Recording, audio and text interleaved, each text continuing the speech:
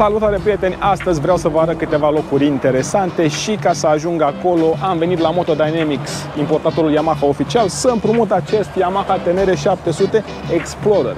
O să vă zic ulterior care este diferența față de un TNR 700 normal, așa cum am și eu, pentru că acum trebuie să-i dăm bice la Brașov, unde ne așteaptă Thomas de la Transylvanian Racer. Ca să ajung la Brașov am ales să merg pe cheia și, ca de obicei, până la Văleni am mers pe la Păulești, Vărbilău. Deși era o zi de marți, am prins foarte aglomerat, multe tiruri, se mai și lucra în zona barajului de la Măneciu. Abia după cheia s-a mai eliberat șoseaua și am putut să mă bucur un pic de motocicleta asta. Ca în cele din urmă să ajung la Codlea, unde și are atelierul Thomas de la Transylvanian Racer. Nu prea mare haosul. După ce mi-a arătat ce motociclete are în garaj, la ce mai lucrează și găsiți pe YouTube uh, interviul complet cu Thomas, ne-am tot întins la vorbă până m-a prins seara, așa că am înoptat la Brașov, urmând ca a doua zi să continui. După ce l-am lăsat pe Thomas cu Yamaha lui IT să o restaureze, e timpul să ne continuăm aventura cu Yamaha TNR Explorer. Urmează să mergem pe Lepșa, pentru că e foarte distractivă motocicleta asta pe asfalt, în mod ciudat. Dar fiind vorba de un tenere, bineînțeles că vom căuta niște drumuri fără asfalt, nu? Prima destinație a zilei a fost Zizin. Văzusem pe hartă un drum care pornește de acolo și ajunge până la Vama Buzăului, fix lângă cascada urlătoarea, însă, grijă mare, acesta este un drum forestier în adevăratul sens al cuvântului, marcat cu bariere la intrare, chiar poți fi amendat dacă intri de capul tău. Eu am cerut voie înainte să o iau pe aici, mi s-a ridicat bariera și totul a fost ok. Off-road, stati, off-road. Acum, drumul ăsta nu vă imaginați că este vreo comoară ascunsă. E un drum forestier pietruit normal. Abia când ajungi la partea de pădure devine mai interesant, însă imediat după asta cobor la Dâlghiu și drumul devine iar monoton, pietruit. Am mai explorat eu stânga-dreapta un pic zona, însă foarte superficial, așa că m-am întors la planul inițial și am mers la cascada urlătoare. Important de știut dacă ajungi aici e că trebuie să lași motocicleta în parcare și să mergi pe jos vreo 10 minute până la cascadă sau poți să iei o căruță. De acolo sunt localnicii care te mai transportă contra cost, bineînțeles. După asta am plecat spre întorsura Buzăului, nu înainte să fac o oprire și la rezervația de zimbri de la Acriș și pentru că îmi place foarte mult zona asta, vă mai fac o recomandare gastronomică de data aceasta. Sunt multe puncte gastronomice locale, însă unde eu am mâncat și altă dată și mi-a plăcut foarte mult a fost la Mihaela Bulboacă partea interesantă cu punctele gastronomice locale este că ceea ce gătesc oamenii ăștia și ceea ce îți spun pe masă acolo este cu produse locale, cu ce fac oamenii acolo în zona respectivă și așa poți să experimentezi, să zicem, tradiția locală gastronomică a acelei zone pe care o vizitezi. Revenind la drumurile noastre, de la întorsura Buzăului am făcut la stânga spre Zagon, pe drumul național 13E, un drum care arată foarte bine pe hartă și care mereu m-am întrebat cum este în realitate. E bine, e un drum neasfaltat, a zice bun numai pentru motociclete Adventure Touring.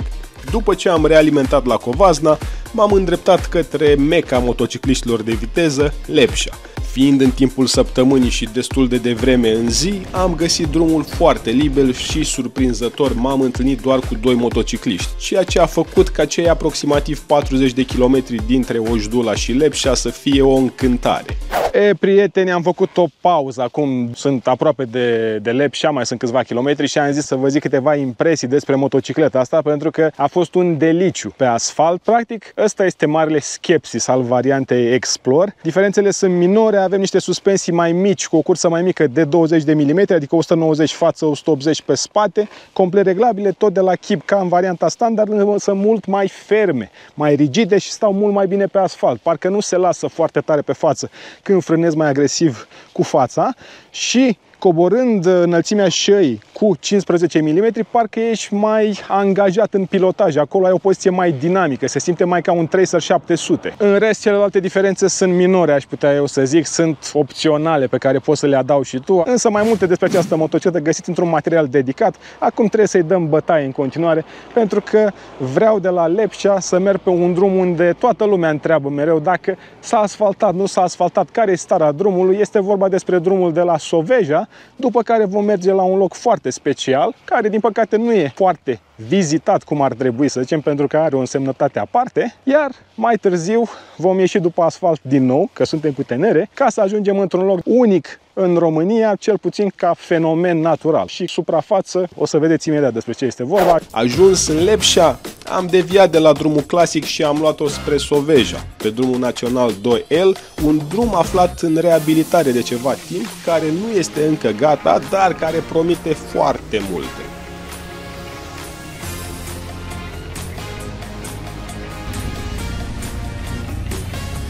Ca de obicei, planurile de acasă nu se potrivesc cu cele din teren, deși chiar și muncitorii mi-au zis că pot să încerc să trec, că e o zonă unde să lucrează și eu un excavator și să dau o fugă, deși drumul este închis circulației publice, repet, o să fie un drum superb acolo, însă momentan nu prea poți să pe unde să treci, că e un excavator, deci nu luați în calcul ruta asta. Numai că asta mi-a stricat mie planul, pentru că voiam să vă arăt mausoleul de la Mărăști.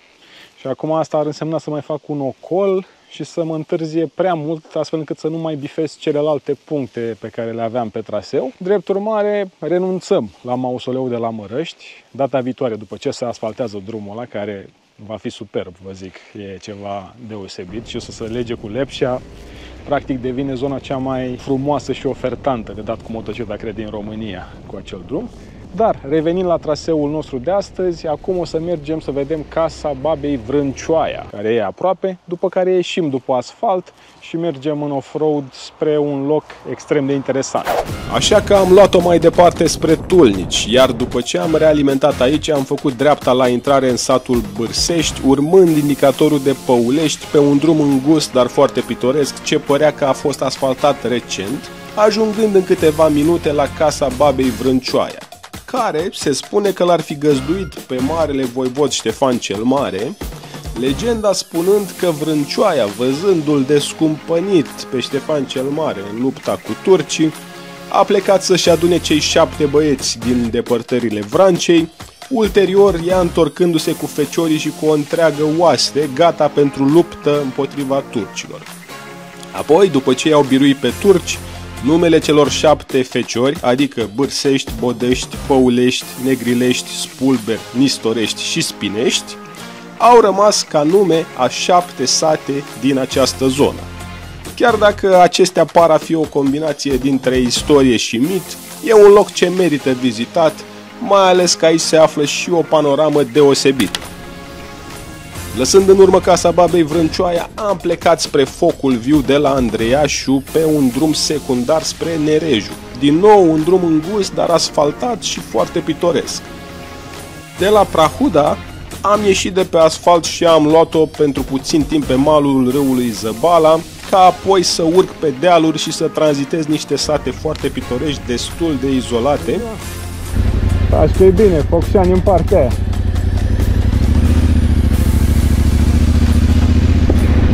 Trece autobuzul pe aici. Ce? Ca în cele din urmă să ies la asfalt pe malul Milcovului la Budeni, chiar înainte de Andreașu de jos. A, deci nu vă luați după Google. Nu vă luați după Google. Focul viu acolo era, unde era indicatorul. Cum trebuie să întoarcem.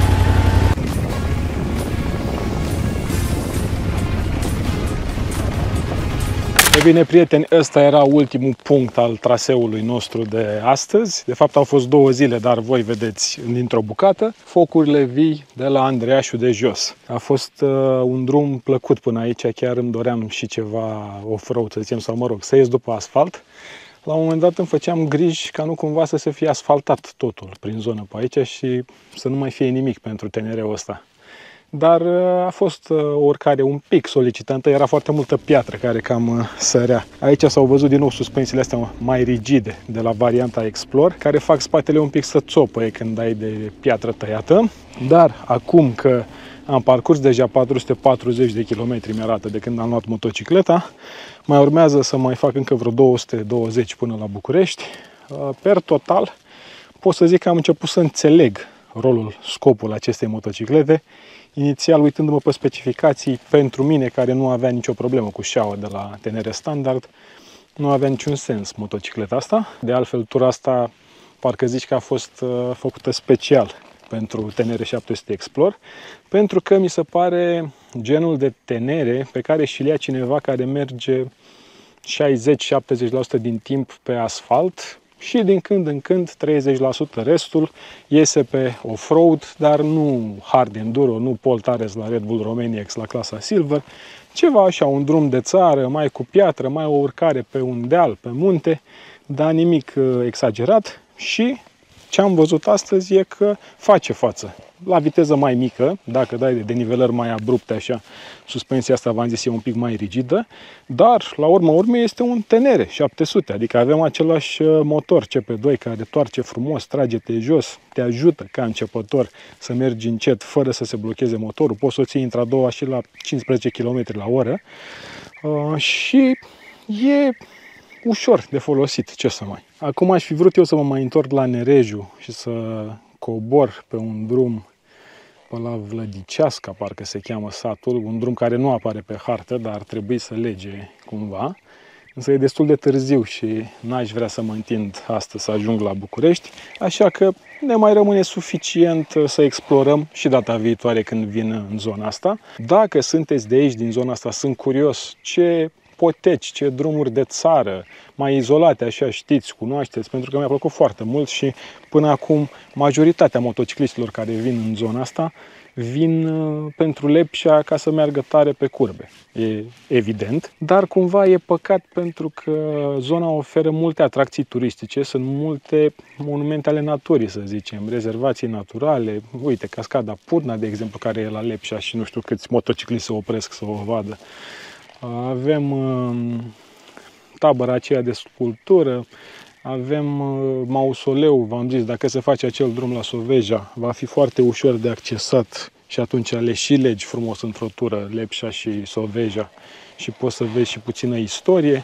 Apoi fenomenul ăsta care nu e la tot pasul, focul viu de la Andreașul de jos, sunt zone frumoase și de asta merită România explorată. De asta se potrivește și numele de la acest TNR 700 Explore pentru tura noastră. Așa că lăsați-mi în comentarii dacă aveți sugestii, dacă sunteți din zonă de aici sau poate ați fost vreodată într-o tură mai amplă și ați explorat zona, ați găsit ceva poteci, drumuri de țară care merită împărțite cu alți motocicliști și care merită explorate. Că despre asta vorbim TNR 700 Explorer.